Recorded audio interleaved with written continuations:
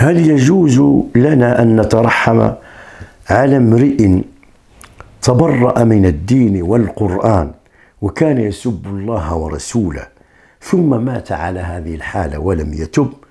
يعني عندنا إحنا يا شرطنا في الدوار؟ السيد والعياذ بالله يسب الدين ويسب الملة ويستهزئ بالنبي صلى الله عليه وسلم ويتبرأ من الإسلام ويستهزئ بالعلماء. ومات. هل نترحم عليه؟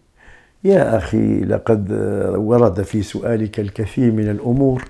واحدة منها تكفي أن الناس إذا صادفوا مثل هذا وهو ميت أن يتركوه.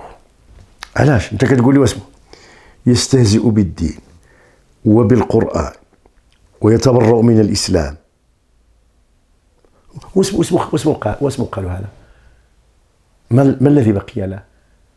ويتهجم على صحابة رسول الله.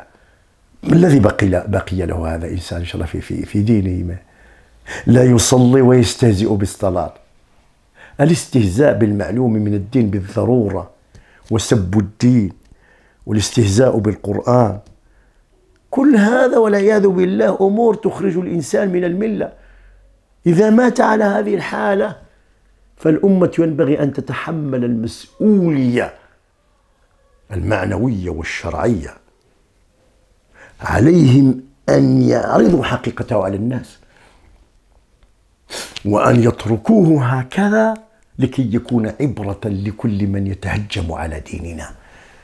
هذا لا يجوز في الإسلام أن يصلى عليه لأنه إذا مات هكذا مرتدا ولم تعرف عليه توبة فهذا إنسان عياذا بالله لا ينبغي أن يغسل ولا يكفن ولا يصلى عليه لكي يكون عبرة للآخرين حتى لا يكون الدين نهشا لأمثال هؤلاء.